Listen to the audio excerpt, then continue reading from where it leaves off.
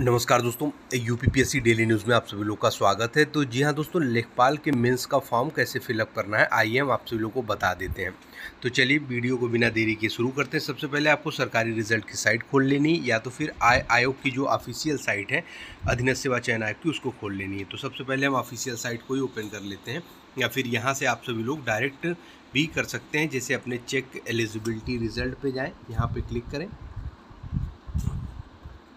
Click करने के बाद आपको ऑफिशियल साइट पे ही ले जाया जाएगा। ये और ये वाला जो कॉलम है, आ रहा है, लेखपाल मुख्य परीक्षा के अंतर्गत लिखित परीक्षा हेतु साठ लिस्ट करना तो इस वाले कॉलम को आप सभी लोगों को क्लिक करना है। इस वाले कॉलम को आप सभी लोग पे क्लिक करना है।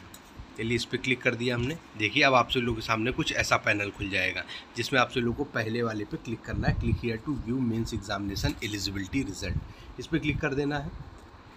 क्लिक करने के बाद आप सभी लोग का लेखपाल का रजिस्ट्रेशन नंबर, जो आप सभी लोगों ने लेखपाल का फॉर्म भरा होगा पच्चीस रुपये दे करके पेट का रजिस्ट्रेशन नंबर डाल के, वो वाला रजिस्ट्रेशन नंबर यहाँ पे डालना है। साथ ही में डेट ऑफ़ बर्थ अपना जो है, जेंडर और वेरिफिकेशन करके सी रिज़ल्ट पे कर देना है। और जिन भाइयों का रजिस्ट्रेशन नंबर नहीं आ पाया है, उनके लिए जैसे जो भूल गए, नहीं मिल रहा हो, कोई दिक्कत, परेशानी हो तो आप सभी लोग यहाँ पे क्लिक कर देंगे नो योर रजिस्ट्रेशन नंबर पे। इस पर क्लिक करेंगे क्लिक करते ही आप सभी लोग का यहाँ पे कैंडिडेट फुल नेम फा, फादर नेम और डेट ऑफ़ बर्थ और वेरिफिकेशन कोड डाल करके यहाँ पे सर्च कर देंगे तो आपका लेखपाल का आपके सामने आ जाएगा रजिस्ट्रेशन नंबर फिर उसके बाद आप सभी लोग को क्या करना है?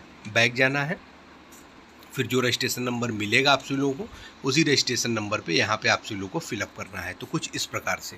जी हाँ दोस्तों रजिस्ट्रेशन नंबर सारे डिटेल हमने डाल दिया है। सी रिज़ल्ट पे क्लिक करते हैं। सी रिज़ल्ट पे क्लिक करते हैं। सी रिज़ल्ट पे क्लिक करने के बाद आप सभी लोग के सामने ये चीज़ खुल जाएगा। अगर आप एलिजिबल हैं तो लिखेगा you are eligible for the main examination फिर उसके बाद यहाँ पे आप सभी लोगों का फ़ीस पेमेंट के लिए ऑप्शन आएगा। तो आइए उसको देख लेते हैं। जैसा कि स्क्रीन पे आप सभी लोग देख पा रहे होंगे click here to pay examination fees इस पर क्लिक करना है। फिर उसके बाद का स्टेप ईजी है। पेमेंट करना है यहाँ पे। आप किसी भी मोड से पेमेंट कर सकते हैं, चाहे वो गूगल पे हो, चाहे कार्ड के थ्रू ऐसे इजीली आप सभी लोग दो सौ रुपये पेमेंट इसका है जनरल और ई वालों के लिए। तो जहाँ दोस्तों, वीडियो अच्छा लगा हो तो लाइक ज़रूर कर दें। बहुत बहुत धन्यवाद।